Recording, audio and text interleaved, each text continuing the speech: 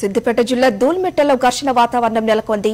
రచ్చబండకు వస్తున్న మాజీ ఎమ్మెల్యే ప్రతాప్ రెడ్డి కారుమాయను పొన్నాల లక్ష్మయ్య వర్గీయులు అడ్డుకున్నారు దీంతో కొమ్మూరి ప్రతాపరెడ్డి పొన్నాల లక్ష్మయ్య వర్గీయుల మధ్య వాగ్వాదం చోటు చేసుకుంది. కొమ్మూరి కారుపై పొన్నాల లక్ష్మయ్య వర్గీయులు రాళ్ళు రువ్వారు రంగంలోకి దిగిన పోలీసులు ఇరు వర్గాలను చెదరగొట్టారు.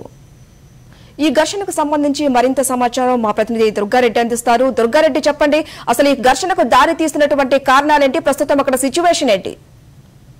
హరిత మాజీ కాంగ్రెస్ మంత్రి పొన్నాల లక్ష్మి అదేవిధంగా మాజీ ఎమ్మెల్యే కొమ్మూరు ప్రతాప్ రెడ్డి వర్గీయుల మధ్య ఈ రోజు సిద్దిపేట జిల్లా దుల్మెట్టలో రచ్చబండ కార్యక్రమానికి వస్తున్న తరుణంలో ఆ, పొన్నాల లక్ష్మికి సంబంధించిన వర్గీయులు కొమ్మూరు ప్రతాప్ రెడ్డికి సంబంధించిన కార్యకర్తల మీద ఒకేసారి మూకుమ్మడిగా రాళ్ళ దాడి చేశారు. దీంతో అప్రమత్తమైన పోలీసులు ఇరు వర్గాలను శాంతింపజేసే ప్రయత్నం చేసినా కానీ ఒకరి మాట ఒకరు వినకపోవడంతో లాఠీ చార్జ్ చేయాల్సి వచ్చింది.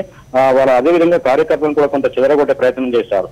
ఆ తర్వాత పొన్నాల లక్ష్మికి సంబంధించిన వర్గీయులు తెలుసుకొని కూడా భారీ ఎత్తున అక్కడికి రావడం జరిగింది. దాంతో పాటు అక్కడ ఉద్రిక్త పరిస్థితులు నెలకొన్నాయని చెప్పొచ్చు ఏదేమైనా సరే కొమ్మూరు అదేవిధంగా ప్రతాప్ రెడ్డి వర్గంతో పాటు కొన్న లక్ష్మీ వర్గీయులు ఒకరికొకరు బాయి బాయ్ అనుకుంటూ ఇటీవల జరుగుతున్న ప్రోగ్రామ్స్ మీద కూడా ఒకరిపై ఒకరు ఆరో- ఆరోపణలు చేసుకోవడం జరుగుతుంది. కాంగ్రెస్ పార్టీలో మీరు పెద్ద అంటే మీరు పెద్ద కాదు. చాలా సంవత్సరాల నుంచి పనిచేసిన వాళ్ళంతా కూడా సమయం పాటించాలి అందరికి విలువ ఇవ్వాలని చెప్పి కార్యకర్తలు నినాదాలు చేయడం జరిగింది. దాంతో పాటు ఆరోపణలు ఘర్షణకు దారితీసింది. శాంతించే ప్రయత్నం చేసినా కానీ ఎవరు మాట వినకపోవడంతో పోలీసులు వెంగప్రదం చేశారు. అయితే అదేవిధంగా ఇప్పుడు మాత్రం ఉద్రిక్త పరిస్థితుల్లో నుంచి ఆ కార్యక్రమం తొలగివేయడంతో పలు మీద పలు మంది మీద కేసు నమోదు చేయడంతో అక్కడ పరిస్థితి మాత్రం అదుపులోకి వచ్చిందని చెప్పవచ్చు హరిత. Thank you Durga Reddy